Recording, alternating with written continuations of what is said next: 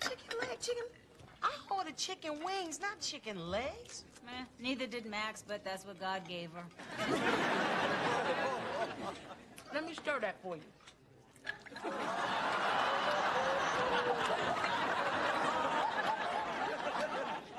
Hey, sorry I'm late. But I was detained by an amorous meter maid. You know, it's hard to refuse a phone number when it's written on the back of your parking ticket. So they're giving out tickets for ugly now, huh?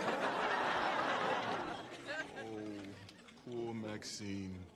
Just jealous because the last phone number she got was to a payphone at Riker. Hey, girl, when did you cut off the guys at Attica? Wait, wait, wait. Hold up. Hold up.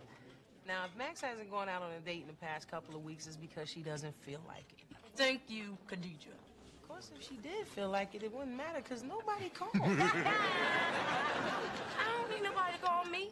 I can get as many numbers as I want whenever I want. Mm-mm. Bathroom walls do not count.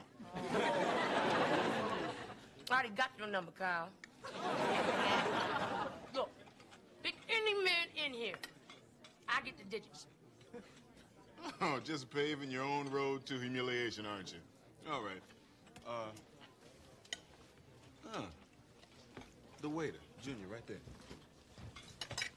Feet, the technique. Oh.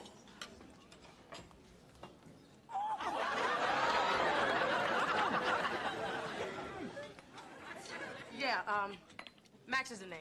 Nice apron. Look, why don't you give me your phone number, and uh, I'll call you sometime.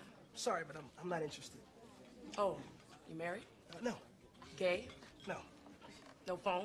Uh, excuse me, those folks waiting for their gazpacho.